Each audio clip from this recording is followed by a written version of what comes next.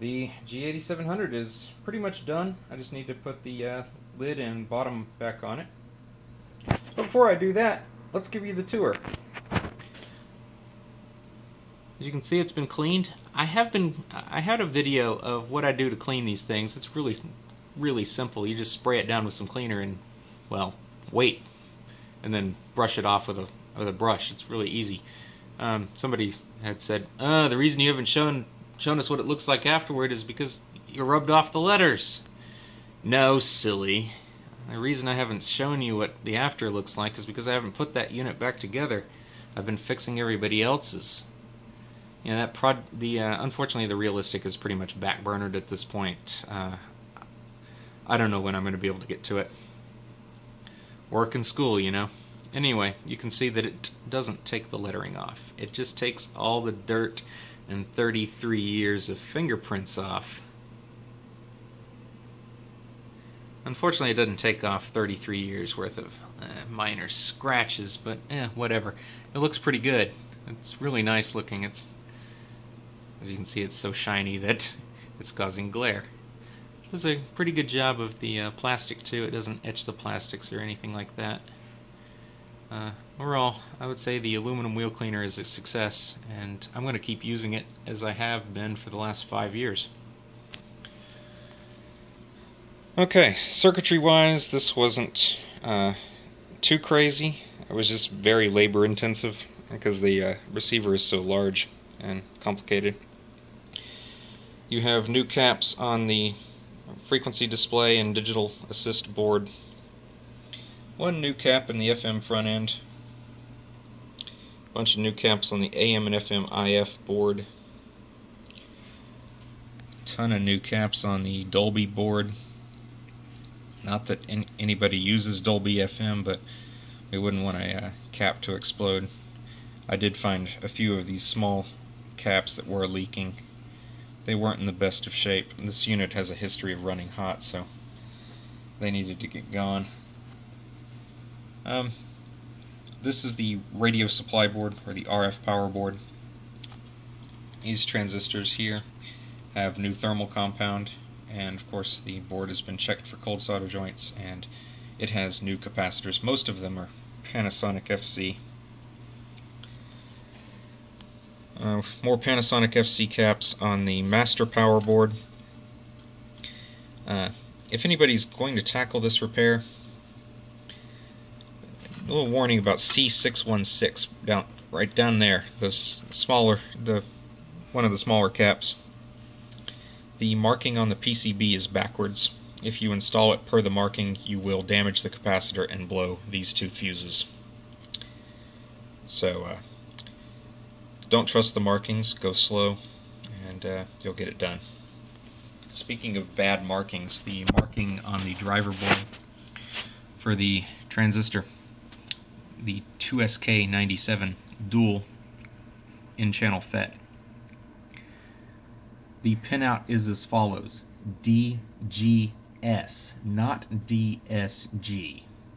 So if you're going to replace that with two discrete FETs because you can't find a 2SK97, you need to realize that that silk screen is wrong. Those do appear to be the only instances of incorrect silk screening aside from a, uh, a marking that suggests that you need a uh, non-polarized cap somewhere on the phono board. I forgot what capacitors those were though. So go slow on that board as well. Again another Panasonic FC cap there and there. And new pots. These are multi-turn pots for better precision and adjustment. They also uh, prevent uh, the bias from going crazy and destroying the amplifier because the uh, pot went bad. Bunch of new transistors and all new caps on both of these boards. This one actually needed a new 2SK97. Um, when the output stage failed, it failed so spectacularly that the failure cascaded all the way back to the input if you're replacing a 2SK97 with discrete FETs, you need to observe a few things. First off, of course, the new FETs must be of the same polarity. and must have equal or greater current and voltage ratings. You also need to watch the uh, pinch off voltage. If it's too high, you won't be able to uh, null the offset. The pinch off needs to be anywhere between 300 millivolts and 1.7 volts. So you need a pretty low pinch off small signal FET, and you need a matched pair of them. You can match them in your own home using a curve tracer. Of course, most people won't do that at home. Most that's generally the domain of a professional repair shop. Although this is a professional repair shop run from a home. Bias is found, but the bias, uh, the voltage that develops the bias current is found between the emitters of TR2 and TR3 down there. You're going to be looking for 5 millivolts. Just 5. That is not a misprint. Um, these receivers unfortunately do not have temperature compensated bias and it is pretty easy to make them uh, blow up if the bias gets out of hand. These units are particularly particularly susceptible to failures due to bias problems. Maybe some of you may be wondering, well, what are these two old caps still doing here? Well, they're, they're still in the circuit because they're chassis mount caps. They tend to be sealed really well. They're measuring perfectly, and they're very expensive to replace. And since the uh, owner was already racking up quite a bill on this repair because of how much labor it is, um, he opted to leave them in, and there's really no problem in doing that. They're not bulging, they're not uh, leaking, and they're fine. So we're going to let them go, and they should last at least another decade. The same could not be said of the uh, smaller caps. They were having some problems. Uh, quite a few of them were leaking, and it's a good thing they're gone. Let's turn this guy over. I'll show you some more stuff. All new caps on the audio power board. The power board on the other side is the RF power board. Again, new thermal compound on these little transistors here and that one there new caps, and all the cold solder joints have been taken care of. Ditto for the uh, protection board, all new caps there, no cold solder joints. All new caps on the uh, tone control board. You'll see those green ones are Nichicon Muse. You'll see I've snuck in some film caps, and the rest of them are Panasonic FC. There are a couple of Nichicon KLs where the where film was just going to be too big, uh, replacing the existing non-polarized electrolytics. I mean, low leakage electrolytics, excuse me. Non-polarized were, of course, replaced with Nichicon ES. Few new caps on our uh, microphone preamp and signal selection board. And, of course, all the uh, cold solder joints were touched up.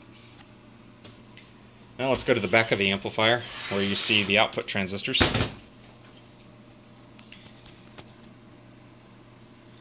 You'll note they're all new. I'm using a combination of MJ 21195 and 21196. Pretty much those are the state-of-the-art TO3 audio power transistors these days. Probably the last of the TO3s actually. You'll note there are a couple of Sharpie marks on each one. Those are gain match marks that I put on in the shop to uh, tell me which ones are matched pairs. You'll note that this one has two marks and that the other channel has one mark. That's so I don't get, get them mixed up and blow up the amplifier. They're all the same transistor, but of course across all the same batch of transistors you'll have different gains and you want to match these gains so each pair here and here you want to make sure they share current equally. Because if they don't, one of them, the stronger gain transistor, will take the uh, lion's share of the current and burn itself out. And since that's probably what this thing came in for in the first place, uh, one started eating too much current, we don't want to have that happen again. Uh, we want this receiver to last a very long time. Um, there are some heat sinks that fit over these um, they're die-cast aluminum. I'm going to put some thermal compound here, here, here, here. and uh, slap them back on. But I thought I'd show you what they look like underneath. It's a pretty majestic beast. Um, push double push pull on both channels. It's quite a machine. It's 160 watts per channel at 0.025. No, 0.0025, I believe. No, it's 0.025, excuse me. I'm just looking at the sheet here. 0.025% THD. So it's pretty clean and it's very powerful. Um, aside from the uh, two little markings being wrong and this thing being picky about bias, that's really the only thing that you've got to watch out for in the Sansui G9700 and G8700. The only difference, of course, is the 9700 is a 200 water and this is a 160. They're the same otherwise. But that's really the only thing that's difficult about this unit. Uh, the rest of it is just time. There are so many boards to solder on and there are so many caps. Um, that's the only reason these things are expensive to redo. This job here, if it wasn't for a friend, um, he's getting a special discount um, because he funnels a ton of business to Andrew's Electronics. Uh, but this job is anywhere from 500 to 550.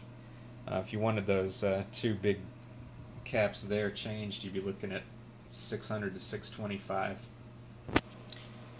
Um, that sounds like a lot of money to repair or repair a receiver, but uh, keep in mind that is a full restoration of a receiver. Um, it, it literally works better than brand new.